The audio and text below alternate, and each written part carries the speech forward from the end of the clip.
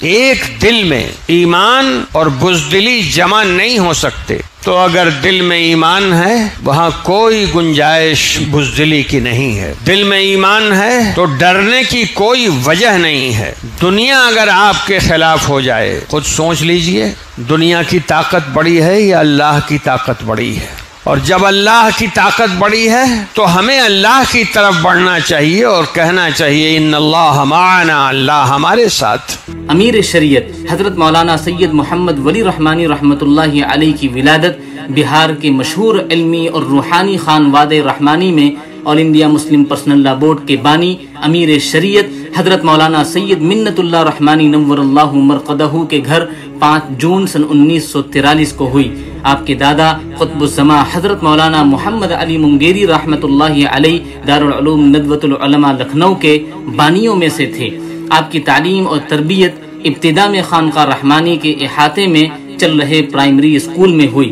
मौलाना हबीबुररहमान साहब और मास्टर फजलुररहमान साहब के साथ साथ उन्होंने अपने नाम और वालिद गिरामी के सामने भी जानवे तलमुस तय किया। और जामिया रहमानी मुंगेर में मिशकात शरीफ तक तालीम हासिल करने के बाद सन 1961 में दारुल नदवतुलमा लखनऊ और सन 1964 में उम्मुल मदारिस दारुल देवबंद से मुतदाविला की तकमील की और इन दोनों मदारिस से कसब फैज़ किया और ख़ानदानी तालीम और तरबियत की वजह से ज़ुबान होशमंद और फ़िक्र अर्जुमन से माला माल हुए।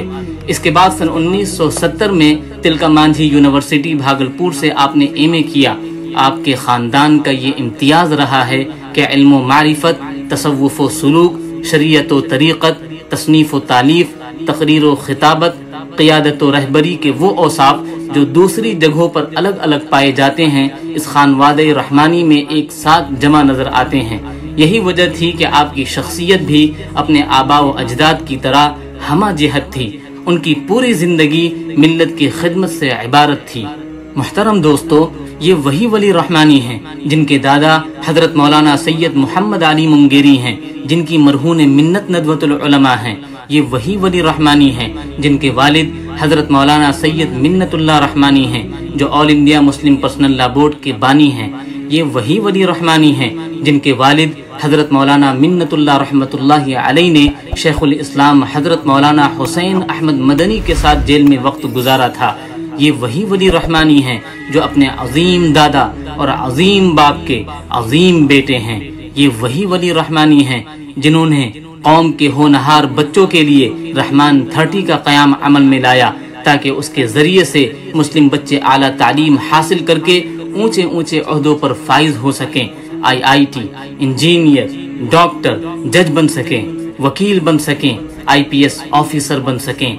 हाँ ये वही वली रहमानी हैं जिनके रहमानी थर्टी ने कम ही वक्त में बेहतरीन नतीजे पेश किए, आला तरीन और जहीन बच्चे मुल्क को दिए, जो आज जगह जगह ऊँचे ऊँचे मनसबों पर विराजमान होकर मुसलमानों की रहनुमाई कर रहे हैं।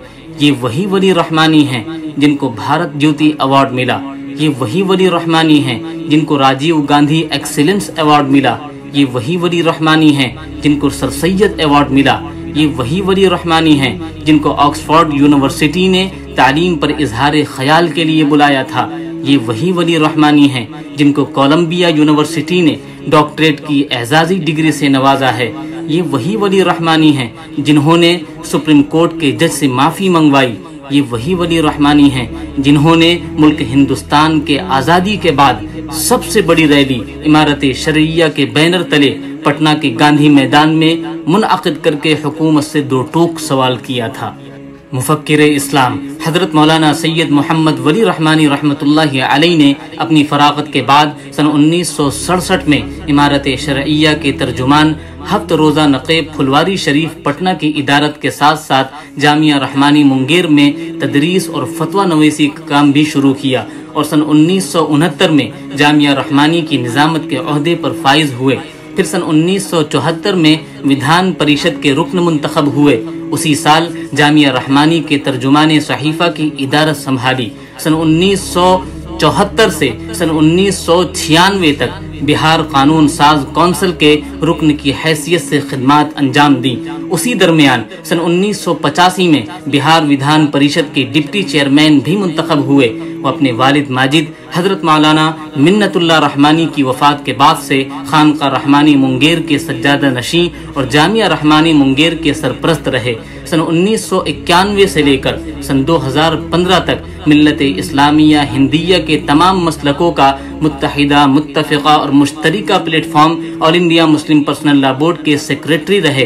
और 7 जून सन 2015 को बोर्ड के कारगुजार जनरल सेक्रेटरी नामजद हुए। उसके बाद 16 अप्रैल सन 2016 को दारुल नदवतुलमा नदवतुल में मुनद मजलिस आमिला के इजलास में ब इत्तिफाक राय All India Muslim Personal Law Board के जनरल सेक्रेटरी मुंतब हुए।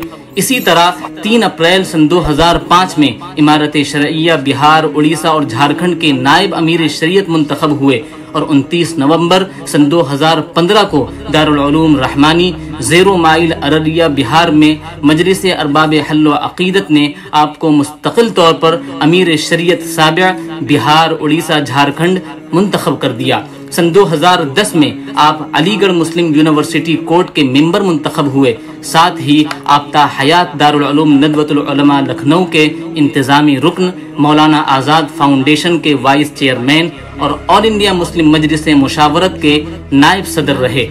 हज़रत अमीर शरीयत अली रहमा मुख्तलिफ़ इदारों और तहरीकों से वाबस्ता होकर मुसलमानों के हकूक की लड़ाई लड़ते रहे और तामीराती और तरक्की कामों में हिस्सा लेते रहे। अपने आखिरी दौर में हज़रत ने उर्दू की बका व तहफ़ और तरवीज इशात के लिए पूरे बिहार, उड़ीसा, झारखंड में तहरीक चलाई, इमारत शरैया के साथ साथ हज़रत मौलाना सैयद मोहम्मद वली रहमानी रहमतुल्लाह अलैह ने All India Muslim Personal Law Board के प्लेटफार्म से भी नुमाया खदमात अंजाम दी। उन्होंने राइट टू एजुकेशन और कानून वक्फ की असलाह नीज डायरेक्ट टैक्स कोड को रोकने के लिए बोर्ड के बैनर तले आईनी हकूक बचाव के नाम से कामयाब मुल्क गिर तहरीक चलाई।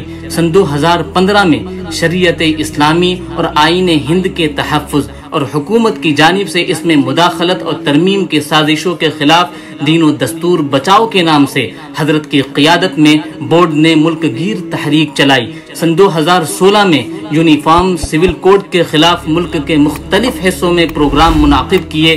सन 2017 के आखिर में और सन 2018 की इब्तदा में पूरे मुल्क में मरकजी हुकूमत के तजवीज़ किए हुए तलाक़ सलासा बिल के खिलाफ तहरीक चलाई, जिसके तहत मुल्क के मुख्तलिफ़ शहरों में तारीख साज एहतजाजी प्रोग्राम और रैलियाँ मुनद हुई। बिलखसूस उम्मत की बहादुर माओ और बहनों ने शर्य दायरे में रहकर एहतजाजी जुलूस निकाले।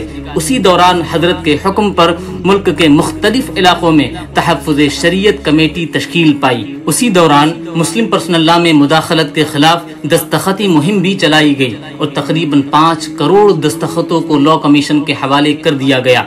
जब सन 2018 में हुकूमत की जानब से मुस्लिम पर्सनल्ला में तब्दीली की बात होने लगी तो लॉ कमीशन के चेयरमैन की दावत पर बोर्ड के वफद ने हज़रत का पैगाम उन तक पहुँचाया, जिसमें इस्लामी तालीमत और फ़िक्र की रोशनी में उनके इश्कालात का वाजह जवाब दिया गया और वाजह तौर पर कह दिया गया कि मुस्लिम पर्सनल्ला में किसी तरमीम, तनसीख या तब्दीली की कोई ज़रूरत नहीं है। हज़रत अली रहमा ने बोर्ड की बाबरी मस्जिद कमेटी के ज़रिए आखिरी मरहले तक बाबरी मस्जिद की पैरवी करने वालों की निगरानी फरमाई। इसी तरह पूरे मुल्क में इसलाह मुआशरा की तहरीक चलाई। और मुल्क के मुख्तलिफ़ रियासतों और अजला में इसलाह मुआशरा कमेटी तश्कील दी और साथ ही वहदत उम्मत के लिए हमेशा कोशा रहे। मुफक्र इस्लाम, हज़रत मौलाना सैयद मोहम्मद वली रहमानी रहमत ने अपनी पूरी ज़िंदगी तहफ़ शरीयत, वहदत उम्मत और इसलाह मुआशरा के लिए वक्फ कर दी थी। हज़रत अमीर शरीत अली रहमा को इदारों और तहरीकों की क़ियादत और तालीम तल्लुम के साथ साथ तालीफ व तसनीफ में भी यकसा अबूर हासिल था। आपने अपने ज़ोर कलम से हज़ारों किताबें मुरतब फरमाई। शेख तरीक़त हज़रत मौलाना मोहम्मद वली रहमानी ने तसवुफ़ सलूक के मैदान में भी अजीम मकाम पाया था। आप अपने वालिद गिरामी हज़रत मौलाना मिन्नतुल्ला रहमानी रहमतुल्लाह अलैह से बैत व मजाज थे और आप चारों सिलसिला कादरिया, चिश्तिया, नक्शबंदिया और सहरवर्दिया से ताल्लुक़ रखते थे। आपके दस्ते मुबारक पर तकरीबन साढ़े आठ लाख से ज़्यादा अफराद ने तोबा व बैद किया था, जिसमें आपके खुलफा की तादाद नौ है, जो मुल्क के मुख्तलिफ़ हिस्सों में इसलाही खदमात अंजाम दे रहे हैं। इस तरह हज़रत को हर मैदान में यकसा अबूर हासिल था। ज़िंदगी के आखिरी लम्हात में हज़रत अमीर शरीयत, जहाँ इमारत शरैया के तहरीक फ़रोग उर्दू की क़्यादत फरमा रहे थे, वहीं All India Muslim Personal Law Board के आसान और मसनून निकाह मुहिम की सरपरस्ती भी फरमा रहे थे। उसी दौरान अचानक तबीयत खराब होने की वजह से पटना के पारस हॉस्पिटल बगर्ज इलाज दाखिल करा दिया गया, जहाँ इल्म इरफान के इस रोशन सितारे ने अपनी आखिरी सांस लेते हुए इस दारे फानी से कूच कर गए।